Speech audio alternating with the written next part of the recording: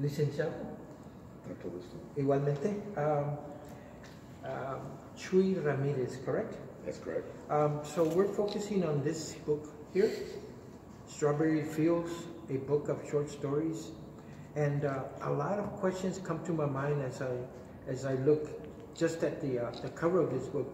But uh, let me begin with the following question: You were motivated to write this uh, book, uh, and how did that happen? Did you have like a a revelation? How did that first idea come about writing this book? Well, um, you know, I'm an attorney, and as, as an attorney in my practice, a lot of what we do is to read and write. Mm-hmm. What's up? And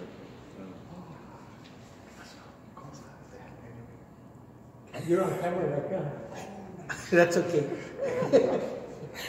so, dame otra You want to be? You can. We can include you. okay, so let's uh, Start over. No, let's keep it. let's keep it.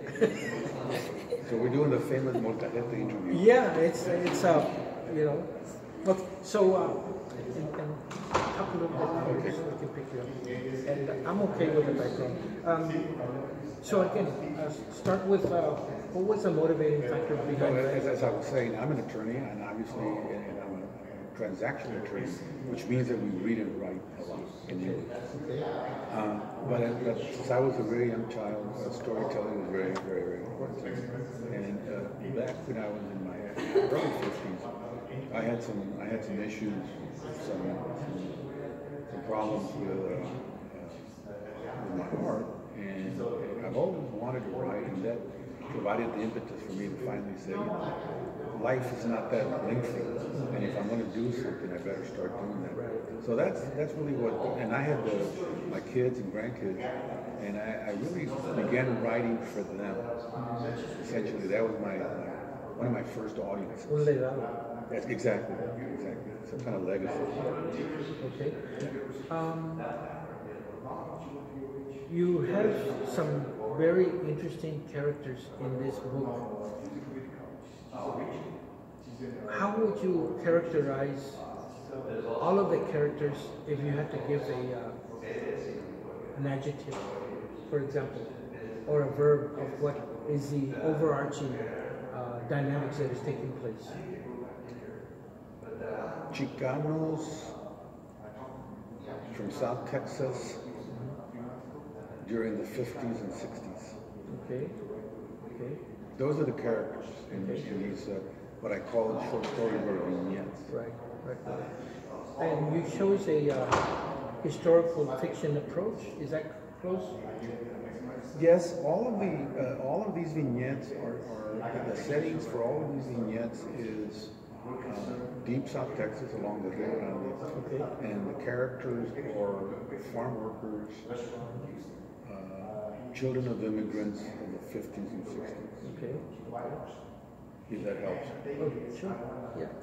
So um, there's an undercurrent, so to speak, a subtext in your writings in this book and other books.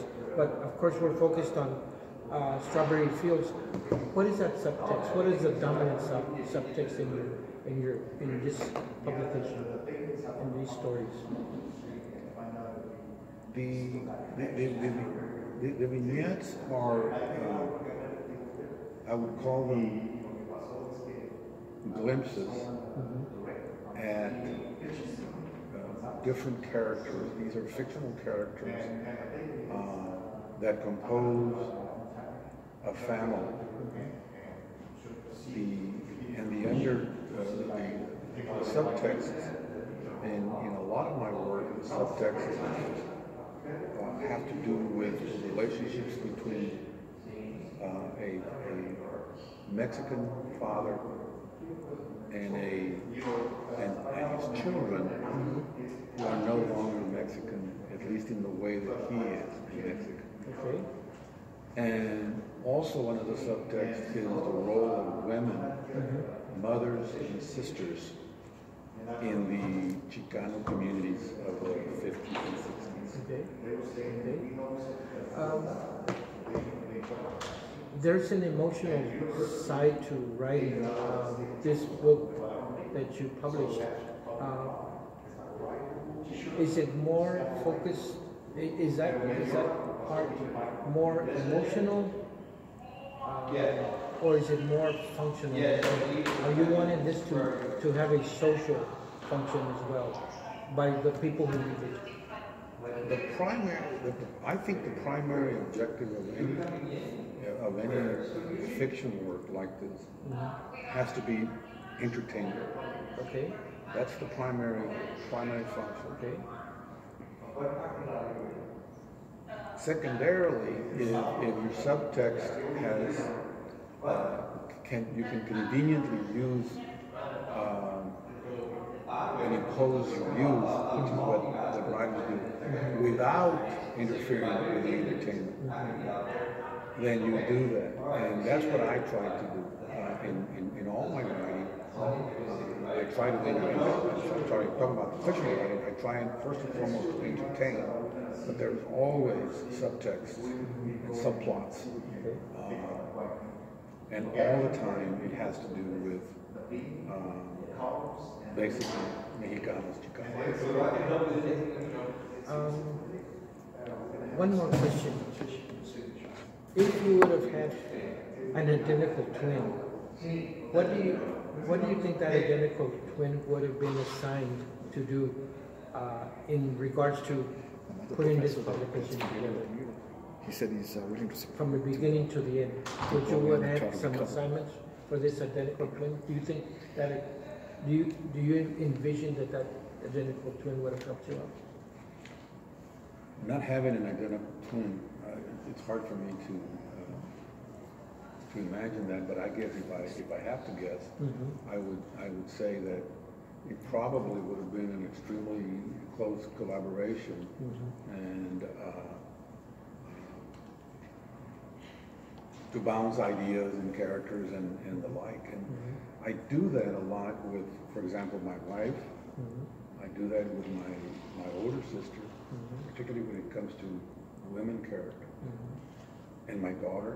Uh, you know, and and uh, so I suspect that if I did have an identical twin, we would probably go through those kinds of discussions in putting together, you know, plots and characters and the like. Okay. Uh, one more question uh, to my mind, and now I want to talk about uh, Chicano uh, aesthetics. As you know, the word aesthetics uh, is the philosophy of art, right?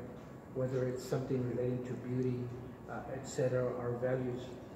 Uh, so, one of the cultural theories that our museum is working on goes under the name Te Chi Huizincle aesthetics. It's a word from the Nahuatl language which, which means a remedy for curing pain and shame. How do you see your work as maybe beginning that process of, of uh, breaking down pain and shame among those people who read it? They may relate to your stories. It's a very interesting question. And I would, I would say this, that it is, that, that- that it is, if that's the aesthetic that we seek for, And that's, that that's the aesthetic that, that all novelists and short, short storytellers seek. And, uh, and if you don't, you don't accomplish that, I think you fail. Because it seems to me that, that what we try to do uh, as fictional writers is we, we try to entertain in light of our pain. Say that again.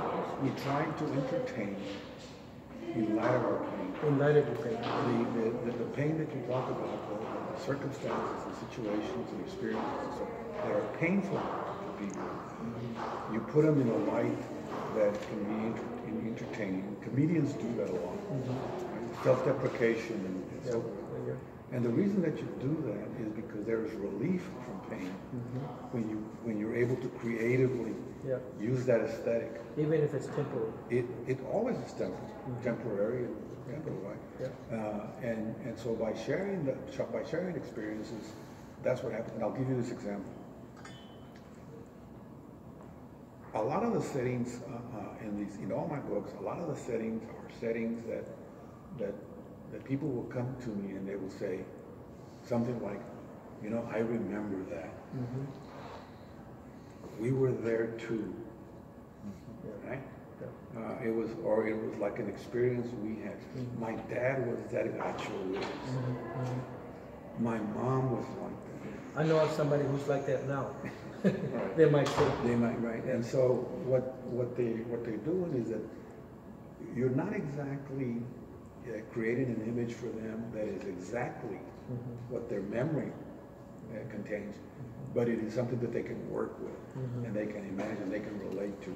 And they can say, if you create an affinity uh, with a legitimacy Mhm. with, with the author, when, when, when you're able to say as a reader, man, you hit that one, you pegó. And that's what makes a good writer. Where at some point you're enthralled in the story, Yeah. and the language, the words are at the right, they're in the right place, they're the right place. And you can read seamlessly Mhm. that you don't want to put the book down. Right. That's what the writer is trying to do in a, in a, in a short story or a, or a novel. Do you consider yourself a word eater? I'm sorry? Do you consider yourself yourself a word eater? You like words? You like uh, to I to manipulate words, etc. I love words. Uh, writing is writing is, uh, and I'm very slow at it, very methodical. It's very Yeah, yeah. painful Yeah, for yeah. me, um, but I love language. Okay. I'm grinning because of this new word that I'm introducing to you, word eater. I'd never heard that. Bueno, eh, señor Ramírez, uh, from my point of view, um, this is uh, a seminal work uh, from my perspective that I have not seen before, uh, especially as it relates to the context of South Texas and uh, connecting to the Chicano identity uh, eh, using many lenses. So uh, again, uh, muchas gracias and we hope to Skype you in the future. And in my view, you're a living treasure of Texas. Wow, wow, I appreciate that so much. Wow. Thank you so much. Great compliment. Pleasure. I thought I was the